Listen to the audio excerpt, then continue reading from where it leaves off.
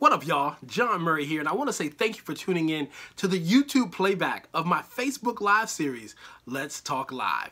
Now, because this version is not live, you won't be a part of the interactive conversation, so don't look for a shout out. You won't be getting one. However, enjoy the Hot Topics dialogue and follow me on Facebook at Jawn Murray World. That's J A W N M U R R A Y World so that you can catch a live broadcast and be a part of the conversation. Now, let's join Let's Talk Live, already in progress. Um, we are almost at our starting number. You guys are making it very easy tonight. While we're getting started, just want to shout out some people that have been sending me some stuff. I want to thank the people who um, uh, make uh, the ear plane, the original earplanes help with in-flight discomfort. I like when people send me products that uh, help me with the flying experience. So thank you for this. And uh, I haven't checked them out yet, but uh, thank you. Also, thank you to people who uh, for for Beast products. They sent me their their bar soap, the Beast bar soap, uh, the Tame the Beast nut butter. Get it, nut butter. It's like a male product for you to put all over your body. Nut butter, hilarious. Uh, and then the Sam Scraper scrub bar. So thank you for Beast products for hooking your boy up. Oh, here's more Beast products. A little travel pack with the face lotion, uh, the multi-purpose lotion, and uh, uh, the beard oil products and stuff. So thank you, Beast, for my Tame the Beast products. Uh, hey, Perdita.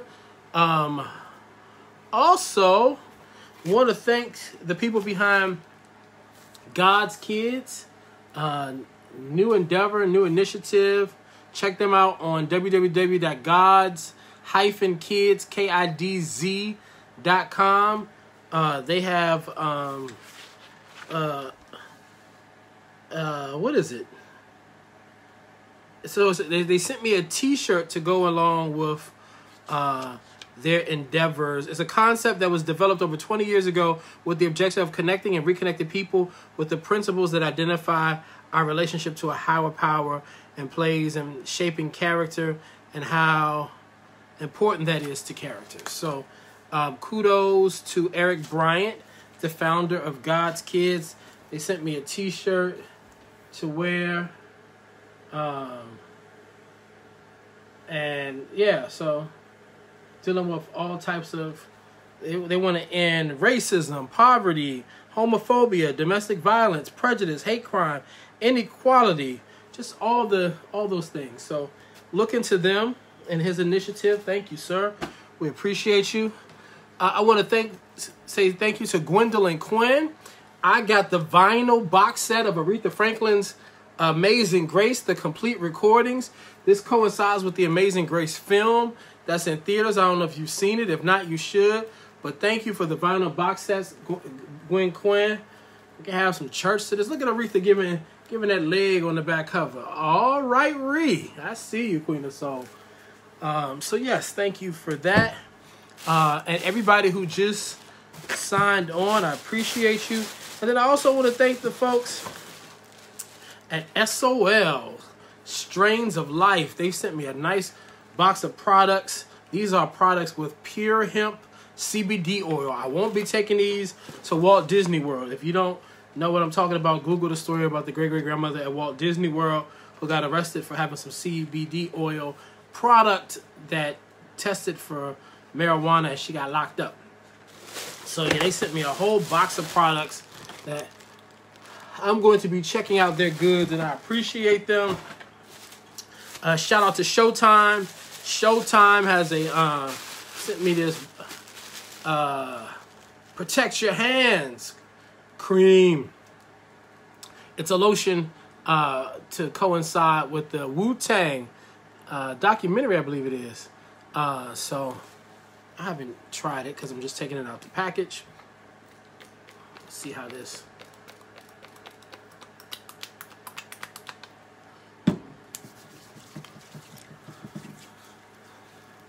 Uh, Kim Davis says, when will Aretha's documentary be available on Blu-ray or DVD? I don't know. because it's still in theaters in a lot of places. So, um, and then I was in the mall this weekend and saw look, look, look my receipt, receipt flying out the bag. Um, I saw Miss Quad cooking Miss Quad in Barnes and Noble. It was up front on a display.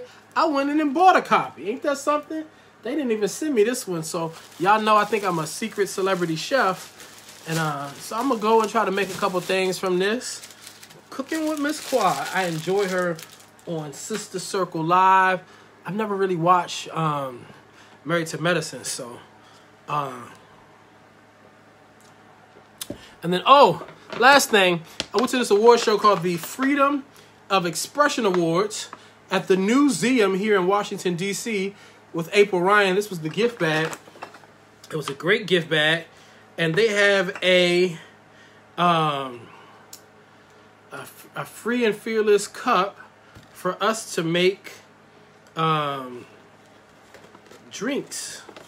A Moscow Mule. So they got ginger beer and Tito's vodka. Now this is a get. This is a good gift bag here. Go home and make me. Oh, and what else they got? Oh, and then tropical mule.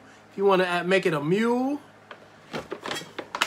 It's for all the people who don't. And it's, it's a double, so I can have a drink with a friend. Ain't that something? Yeah. So shout out to the Freedom of Expression Awards. I had a great time.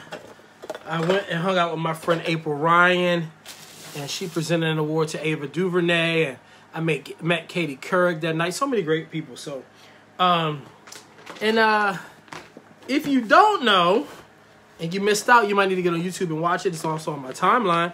Well, I was recently on the Wendy Show.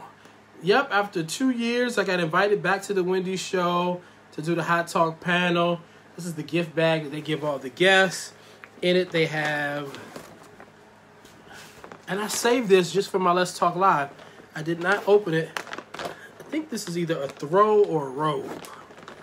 So, oh, it's comfortable and plush. Oh, wow, this is nice. What is, oh, it's a robe. Oh, sookie now. I think I might do like safari and start walking around hotels with this. Hold on one second, everybody. Let's see here.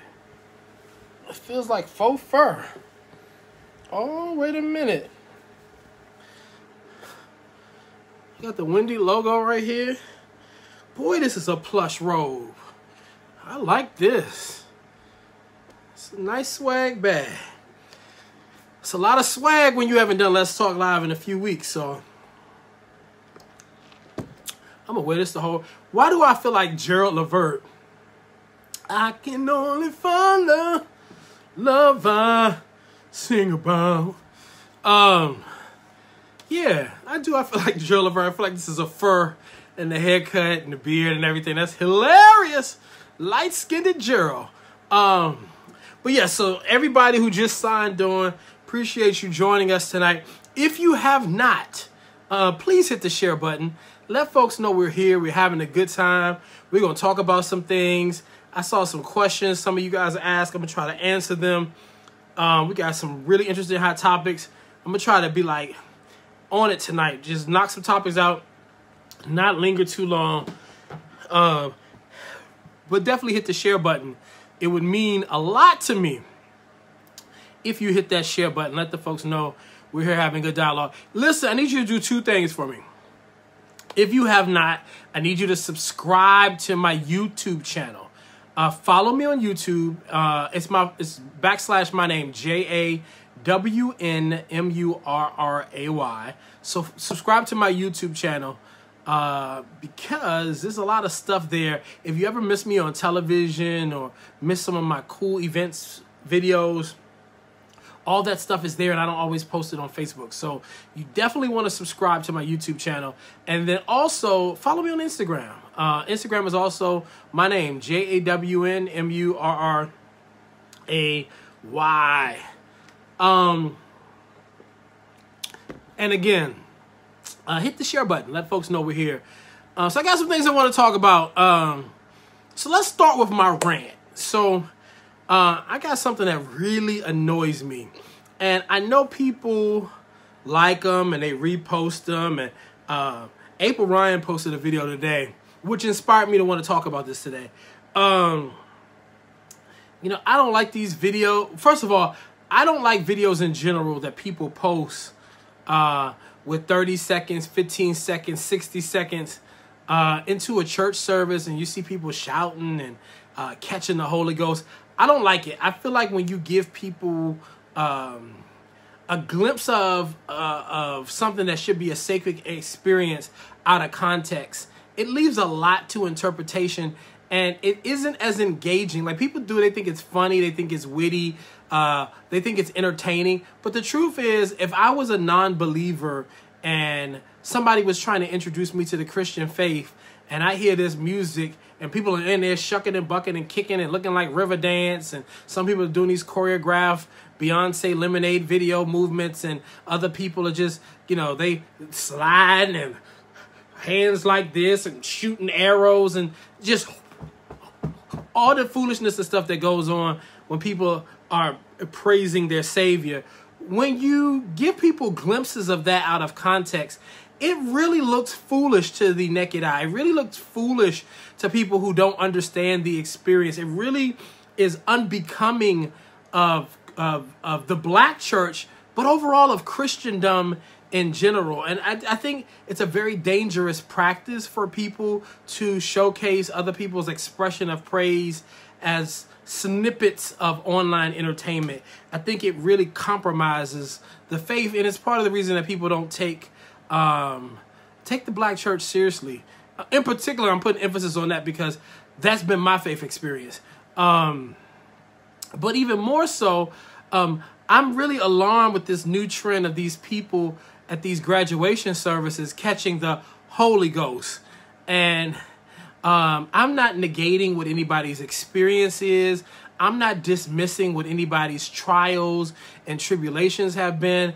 Um, I too am a person who knows the struggle of having to pay for college and uh, having to pay for college books and tuition you know, uh, um, I was a member of a church in Washington, D.C. for many years, the Greater Mount Calvary Holy Church. And the bishop there, Bishop Alfred Owens, he would give me money to pay for books and stuff while I was in college. Because when I was in college, because I ain't come from a privileged background, I was I came from a working household. And even though my mother was married, the reality is that she might as well have been a single mom.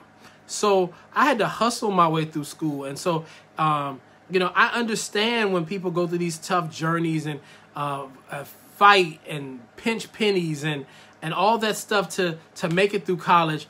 But getting on these stages and shouting and catching the Holy Ghost and shouting into professors and stuff, I think it's unseemly. I think it's disruptive. I think it's disrespectful. And I really think people need to stop. It is learned behavior. I, there is no spirit that hits you that tells you to shout on the stage at your graduation.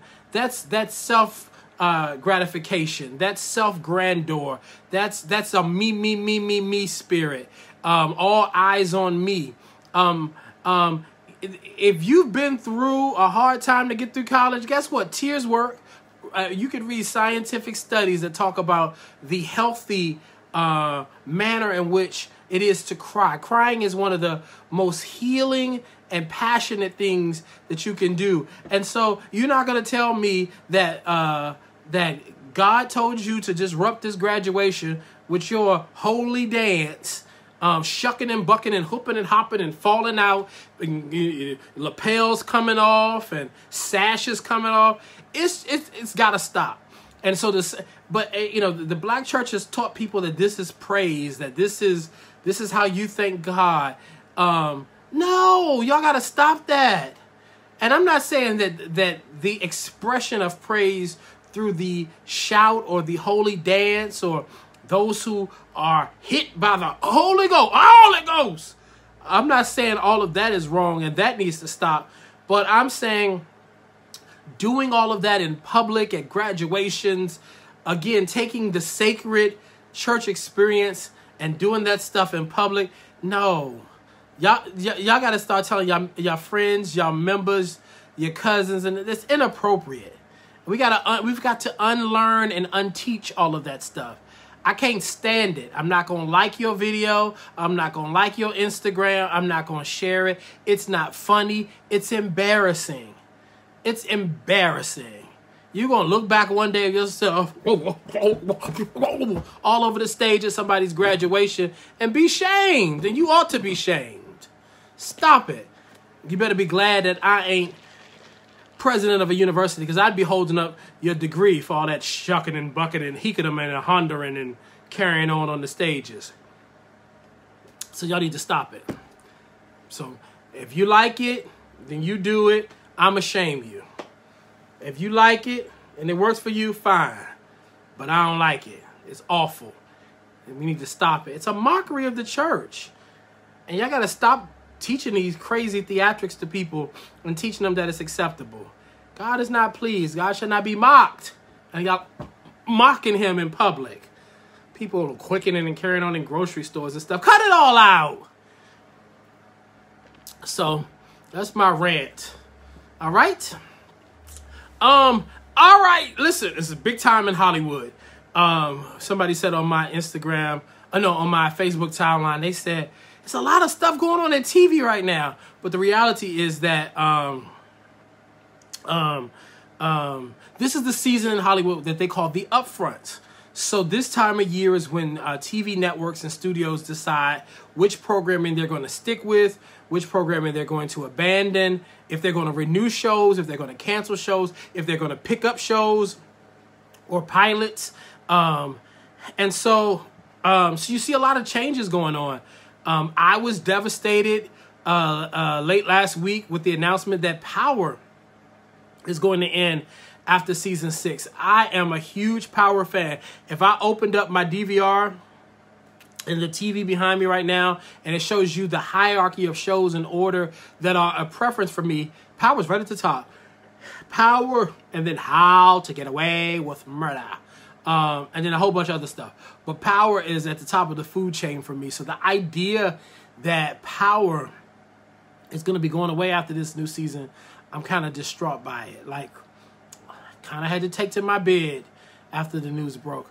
But not just power, um, you know, and I, and kudos to Omari Hardwick and Tori Naughton and the entire cast of that show. They're all going to go on to do really incredible, phenomenal things. But selfishly, I'd like to see the show end at least through season seven. I think seven seasons is a good amount of time for a show to end, but they're going to end in season six. But also ending in after season six will be Empire. So we will get one more season of Empire. It'll uh, premiere in the fall of uh, 2019 and go into 2020 uh, spring. And then after that, Cookie Lucious, all of the family, Dunzo. And according to the executives at Fox who presented at the upfronts, there are no plans to bring back Jussie Smollett. So Jussie Smollett appears to be over with the show. Um, um, and this is a double whammy for Lee Daniels because he's also losing his other show at Fox, which is Star. Uh, Star, uh, the girl group show that hired about half of the male R&B industry. I mean, Mario, Major, Luke James, all those good brothers was on the show. That show will be going away now. It's done. It's canceled after three seasons. Um, Fox also got rid of the, the, sitcom Rel. CBS got rid of the show um, The Family uh, with Tone Bell and Sheryl Lee Ralph and um, a bunch of other shows that have been canceled. But those are some of the most prominent ones. And uh, speaking of cancellations, it was not a good weekend for Steve Harvey. Woo! Steve Harvey, uh, uh, Hollywood's chosen black host for a significant amount of time, lost two of his shows over the weekend. Uh, um, I already knew that the Steve Harvey show was probably going to go away. Uh, because of uh, NBC's announcement in the fall that the Kelly Clarkson show would be replacing him in all of his time slots. Um, but what I did not see coming was the announcement that Steve would also be removed from NBC's Little Big Shots and that he will be replaced uh, by Melissa McCarthy. She will be taking over as the new host of that show. Um, it's obvious that NBC does not want to be in the Steve Harvey business any longer. So let me kind of explain to you the paradigm shift with Steve Harvey and NBC. and I'm just going to stick to the fundamentals of the industry aspect of it. Um, um, there's a lot of chatter about Steve Harvey's personality and uh, being difficult. You all saw the letter that he sent to his staff on the Chicago version of his talk show, Well, you know you can't look me in my eyes, don't come to my dressing room, you know, don't talk to me, make an appointment, all that stuff that really got a lot of backlash. Uh, so there, there's the personality side of Steve. I'm just gonna focus on Steve, um, uh, just the fundamentals of the Hollywood aspect. So um, in December of 2015, um, Steve Harvey's talent deal with Endemol, the company that produced the original version of his talk show, it ended. Uh, apparently, Steve didn't sign his new talent deal, and that deal set unsigned for about 10 months or so until about October of 2016. We were in the thick of the election season. We were getting ready for the election that November. Um, and apparently, Endemol went to Steve and was like, yo, you got to sign this talent deal or we're going to announce that we're officially canceling the Steve Harvey show. That this is the original version of the talk show that had aired for five seasons in Chicago.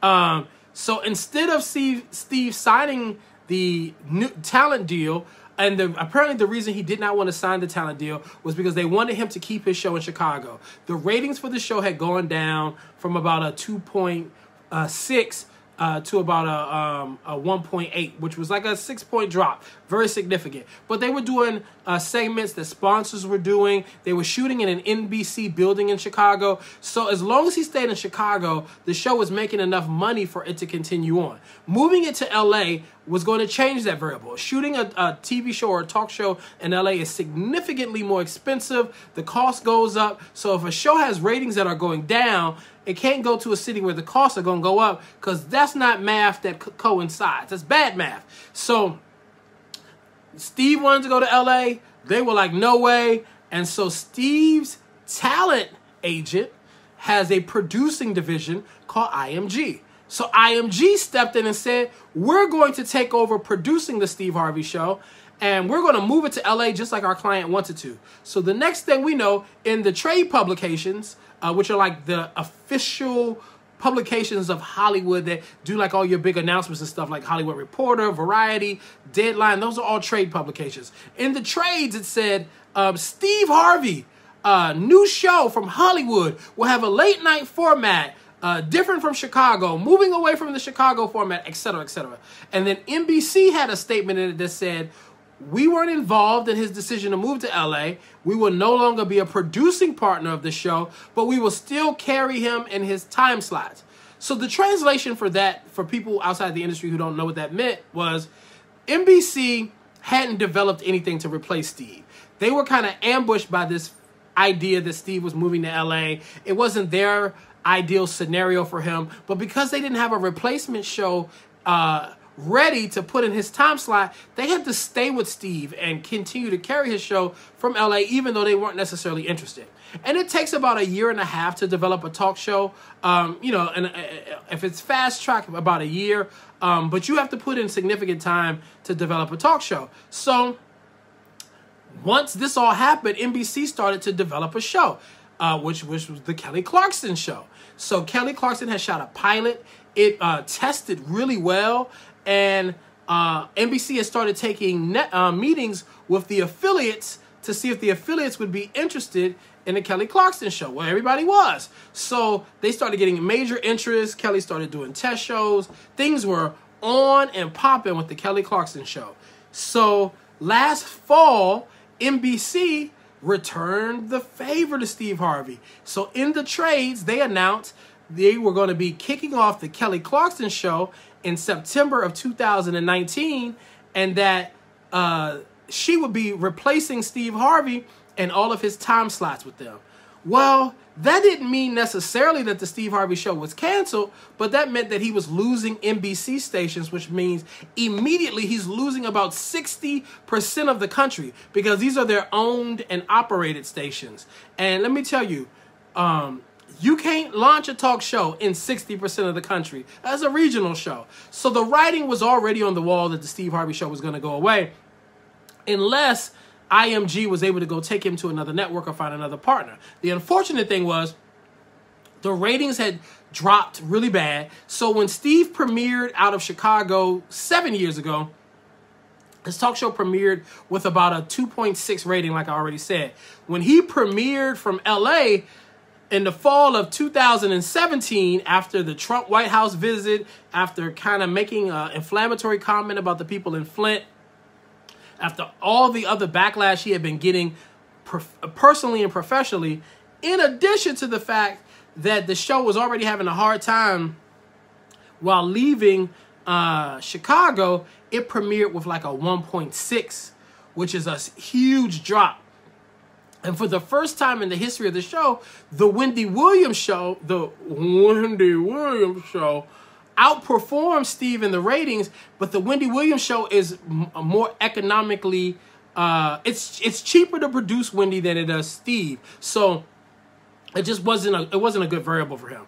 So one of the executives at IMG, which is a division of Steve's talent agency, which is producing his new show from LA, did an interview in Adweek where he basically expressed that the show was bleeding money uh, and that they only was sticking with the show for a second season because Steve was their client and they wanted to see it through. He kind of acknowledged indirectly that the show wasn't a success. So NBC was looking to be out of the Steve Harvey business um, because they didn't like how things happened with the Chicago uh, for, for the transition from uh, Chicago to LA. They were a producing partner initially on the first version of the show. They were no longer a producing partner in the second version of the show. And it just became a very disastrous relationship for them. So, in the course of this weekend, Steve Harvey uh, lost two of his four prominent jobs. Um, you know, he still has Family Feud. He still has the Steve Harvey Morning Show. And I mean, don't cry for me, Argentina. He ain't broke. But losing a daytime talk show and syndication and a variety show like Little Big Shots is a significant hit to one's uh, income. So, so that's the Steve Harvey show. That that is uh, me explaining to you, which really is kind of complicated Hollywood speak in the most practical terms possible. I just wanted to help a few people understand it. You know, I know uh, for the people of color who are watching this, uh, Let's Talk Live. Um, I know you guys. Um, there's a segment of us that love a conspiracy theory. We love, uh, uh, you know, Illuminati and underground Hollywood and uh, all this other stuff. Uh, and so there have been a lot of chatter like, ooh, well, Steve didn't do the right dance for the right organization. But the truth is that, you know, it sounds like him and NBC had a very uh, unhealthy relationship for about two years. And it took them two years to be able to um, extract their revenge. So, um, Steve will be fine. He has an amazing agent, uh, one of the most powerful in Hollywood. I'm sure he'll go on to do other things, but um, he might have a little more time to catch up on that sleep that he say rich people don't get because uh, he got two jobs that are no longer in existence. And the people at the talk show, they don't have to worry about not looking them in the thighs and stuff anymore. So, um, yeah, so that's that. Uh, all right. Uh, speaking of talk shows, um, I talked about being back on the Wendy Williams show. As you see, I'm wearing my Wendy robe. That was in my swag bag. I had a great time at the Wendy show. The people treated me exceptionally well. Uh, the Hot Talk panel appearance is on her YouTube page. Check it out at Wendy. Uh, was it uh, YouTube backslash Wendy Williams show? Um, if you have not checked it out already, I was on with Ali Wentworth and a TV host named Ellie Lee. It was a great time. Um, and then on the top of my timeline on on uh, Facebook, I uh, I did a TV show here in Washington D.C. last week called um, uh, Like It or Not. It was a good time. It was a fast moving panel show. We talked about Michael Jackson and Madonna and the whole Ayesha Curry story. I'm not getting into Ayesha Curry today because if you want to see what I think, watch Like It or Not. Uh, we also talked about this hot topic do men gossip more than women? Um, and it was another good hot topic that we delved into. It was a fun show, a great time. I'd love for you to watch the clip. It's on. The, if you, I mean, if you go on the top of my Facebook page, it is pinned right to the top. Watch the clip. Watch the show. Uh, and let, like give me feedback or your comments underneath. I really, really liked it.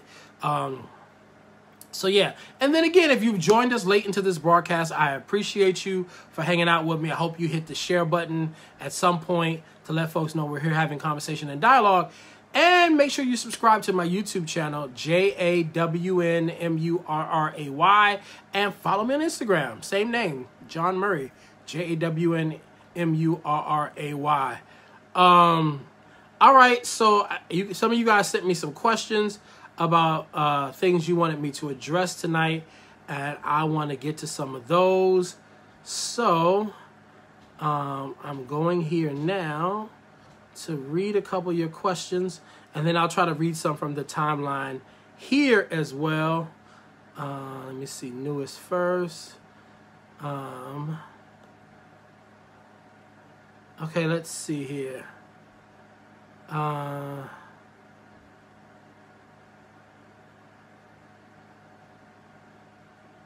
has the movement of black leads on sitcoms primetime ended with Lee Daniels and Shonda Rhimes?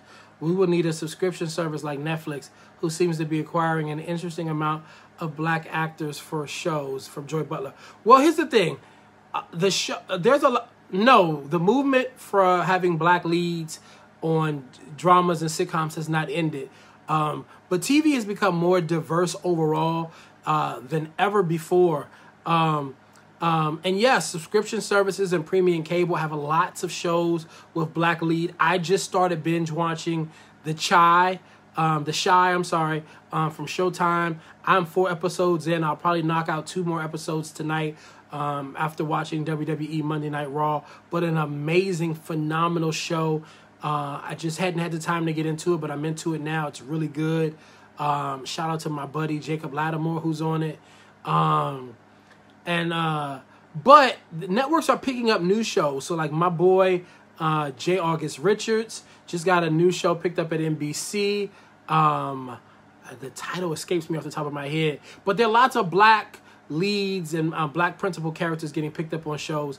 Uh, just some of the shows that we've become familiar with are happening to go away and they're ending their reign. So, uh, let's see. Some of y'all are giving me comments and remarks. Um, uh, uh, Deirdre Young says, "Do I think the, the, Steve Harvey show or Star will go to other networks?" No, both of those shows are done. Like Steve Harvey's talk show done, uh, Star done, Empire after one more season will be done. Um, uh, Celeste Walker says, "What's for snacks?" I don't have no snacks tonight. Sorry. Rolanda Watts told me no more snacks on my Let's Talk Live. She doesn't like it when I eat on camera, so I'm trying to listen to what she has to say. Um, and all right, those are the only questions from there. A lot of comments. Um, all right, so um, Robert Hassan James says he's a top fan. Where's my cake? I Facebook picks the top fan thing. I don't pick them. Uh, I guess it has to do with engagement and activity on a page or something. So um, let's see. Audrey Johnson said, I wanted to tell you that I understood why you apologize um, for the comment about Kanye's choir, but everyone misspeaks and no one's perfect. You were excellent. Oh, so yeah, so just in case some of you guys don't know, when I was on the Wendy's show, listen, doing live TV is tough. Like, it's kind of like when you see one of your favorite singers in concert and they go to hit a run or a note and they don't quite achieve it, um, it's like you know where your mind thought you were going. Sometimes you just don't always land the way you want to. So I was talking about the Kanye choir, and I wanted to emphasize to them that the choir was a hybrid of uh, professional singers, some of which that had not been working, but many of which that were having great success outside of the choir. Um, like they would go in and out of the whole Kanye Sunday service on choir thing um, in between other gigs and tours and stuff like that. Um, and so and so Ellie Lee, we were talking about the the church merch that Kanye had, and should he be um, uh, selling the church merch? And so Ellie Lee was like, "Well, what is he doing with all the money from his expensive clothes and stuff?" So I jumped in a little sooner than I actually anticipated. I was like, "Oh, I can tell you what he's doing with the money. You know, Kanye is paying these singers that are out there because what people don't realize these are professional background and session singers. And so what I just explained to you, I end up kind of jumbling into like one sound bite. So it made it seem like all the singers were out of work when that wasn't really what I intended to convey. So, um, and it, what's crazy is I have about four well, I thought I had about four or five singers in the group. Um, after I made that comment on Wendy, I found out I had about 10 of my friends singing in that choir. I mean, Lottie Dottie and everybody's in um, the samples, that's what they're called. Um, and so instead of just letting it go like, well, I made a mistake on TV and oops, live TV blunders happen. Um, I, you know, here's the thing. A lot of people have a very effort kind of sensibility, like it is what it is, and it ain't what it ain't. But I decided, uh, not because anybody asked me, um, but I decided to make, after talking to one of my really good friends, Jawan uh, McEastland, um, I decided that I wanted to just make good on it and apologize because I didn't want nobody to think I was intentionally trying to be shady or offensive or any of that. Because here's the thing when I want to be intentionally shady or offensive or uh, if I'm trying to read somebody, um, I could do all of that. Like, I'm pretty effective at it. That wasn't necessarily my intent. So, uh, and so because of that, I wanted to apologize. So, so yeah, so that's what happened. Listen, I, my real friends, people who don't be in real life, will tell you I'm the first one I, when I can admit that I'm wrong. Uh, if I have a debate with a person and I find out that I'm wrong, I'd be calling people for like, guess what? You was right. Like I, I kind of get a kick out of that. So y'all never have a problem apologizing or fixing a situation if uh, somebody is uh, offended, unintentionally or not. Um, Nicole Marla Jackson, oh, no, Nicole Maria Jackson uh, said, "Is New York Undercover coming back?" Yes, a reboot of that is coming back. Um, uh, let's see. A bunch of y'all love Rolanda Watts. Uh,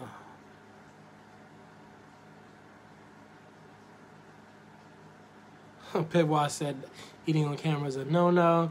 Um, um,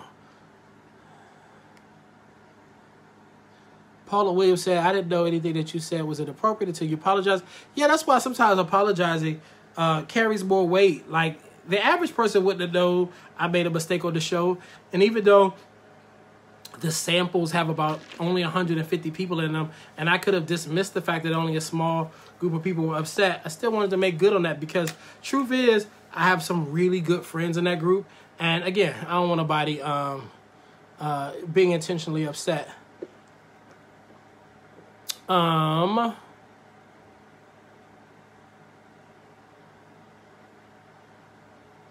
uh, Peggy Law says so they just acquire some bloggers and news publications. Uh, say it's a church service. Uh, uh, no, listen. They call it a Sunday service. Those are hired singers uh, that sing in the samples. A choir led by Jason White. They have choir rehearsal on Friday, uh, and they gig on Sunday and it, they do amazing music. Uh, so yes, um, let's see. All right, I'm looking for a few more questions. Do I think Tyler Perry Studios will take a hit because of the boycott of Georgia over the abortion law? Uh, from Nicole Scott. Good question. Um, and many of you don't know, Georgia, uh, uh, Georgia, Georgia has just put into place this new um, heartbeat law uh, related to abortion. I'm not going to get into that. You can look it up. But a lot of Hollywood production companies, um, like I was just describing with the Steve Harvey show, it's more economical to shoot in cities outside of Hollywood and New York City. So that's why you often hear of TV shows shooting in Canada, Toronto, uh, Montreal, Vancouver, uh, and Atlanta. Atlanta's really big. Louisiana is really big. Uh, Illinois is really big. Um, some places in the Carolinas also get a lot of TV production work. For some of the talk shows, like Maury Povich and some of the uh, court shows, they shoot in Connecticut because you get tax breaks and, and, and a whole lot of opportunities for bringing your shows to these other markets. Uh, and so, um, but because of Georgia's heartbeat law, a lot of productions have decided to pull their shows out of Georgia um, and when a TV show comes into your city, even though they're saving money being there, they generate a lot of money. They spend a lot of money for these cities. So in these states, so these states are losing a lot of money when TV shows and movie productions and stuff decide it's no longer advantageous for me to shoot in this city. So uh, in Georgia, um, Tyler Perry has his studios. Um, because Tyler, Tyler Perry owns so much land there and shoots the majority of his own shows there, I don't think that he'll necessarily uh, uh, take a hit because you know his studios first and foremost are there to benefit him. But I don't know how many outside productions will want to come shoot at his studios any longer because of the Georgia uh, heartbeat um, rule. So that's that. All right, more questions. Uh,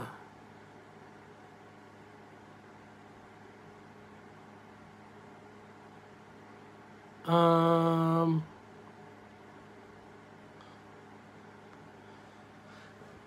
uh, since NBC is getting rid of all things Steve Harvey, uh, will they get rid of him as the host of Miss Universe and Miss USA? I don't know. There was a pageant on the other night. I don't know if it was USA or Miss America, or whatever the case was, but Nick Lachey and Vanessa Minnillo um, um, were hosting it.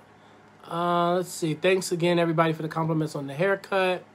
Um, Belinda Bassett, I look very refreshed. Uh, Bridget Little said, "Do I think they're canceling shows like Empire due to the remake of uh, 90210?" No, I think they're canceling these shows because Empire has had a good run, but as everybody knows, it's an expensive show to produce, and the ratings are down. And Star's ratings have always been like, eh. So that's why they're getting rid of those shows.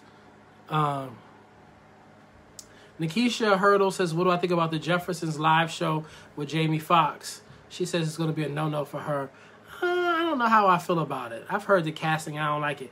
I don't like the casting because it looks like they're going to go with a Latina in the role of Florence the Maid. And Marla Gibbs and what she did with Florence the Maid is so signature and distinctive. I don't like the multicultural casting in that particular role. I mean, if you wanted to make one of the neighbors Latin, um, if you wanted to make the doorman Latin, just anybody in a support character. But what Marla did as Florence the Maid, I don't think anybody else should be playing that. Um, I'm done talking about Kanye's Sunday service. Um, how is Luke Cage and Black? Luke Cage was canceled by Netflix, so Erica Brown, you're a little late on that. You're late like Jet Magazine because you might be about six months to eight months late on that. And Black Lightning is doing great in the ratings. It got renewed for another season on the CW network. Um,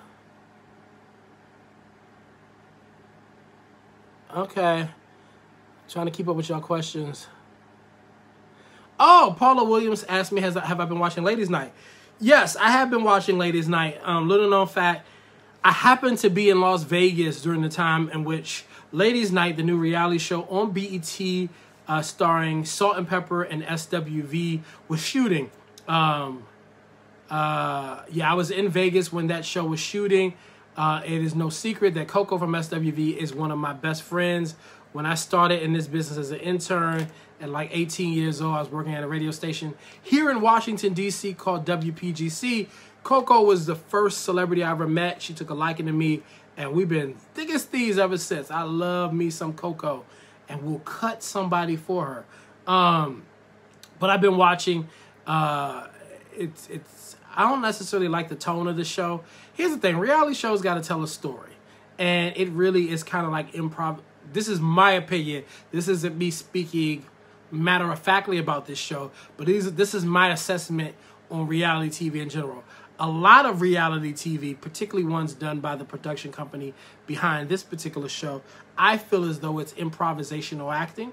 Uh, they take a story, they gravitate to a story, and the story kind of unfolds. Um, um, and so I don't like how the storyline has started because um, it just, it, yeah, it's a little dumb to me. Uh, but I enjoy Salt-N-Pepa musically. I enjoy uh, SWV immensely. Um, and I don't understand why Salt-N-Pepa put Spinderella out the group yet again. I guess it will play out on television. But in my humble opinion, without even knowing any of the details, I feel like Spinderella gets a real raw end of the deal with Salt-N-Pepa, and they got to do better about that. Um, all right, a few more questions, and then I'm going to sign off. Uh, let's see. Stuart Lowry I believe that the cancellations are due to the fact that Disney owns Fox now. Um, but business is business no matter who owns what. And so if a show is having success in ratings, they don't cancel them. and those shows that are leaving and being canceled, most of them are due to ratings. It's it's, it's Hollywood is a very uh, cost driven and financial driven situation. If shows are having success and making money, they stay on as long as Grey's Anatomy. Shonda Rhimes has left ABC, done a new deal at Netflix for $100 million, and ABC is still renewing Grey's Anatomy because it's a successful show. It's one of the most diverse shows on television. You could pick up right now, not having known the storylines from all the other previous previous seasons um, and it's so fresh and so captivating with the writing, you could pick up without ever having watched it before. Um, and so it speaks to great writing, it speaks to amazing viewership, and the fact that the show makes money for ABC. So Shonda's gone, but the network is still vested in the show because of the ratings. So ratings uh, really are the key factor for what works in Hollywood. Um,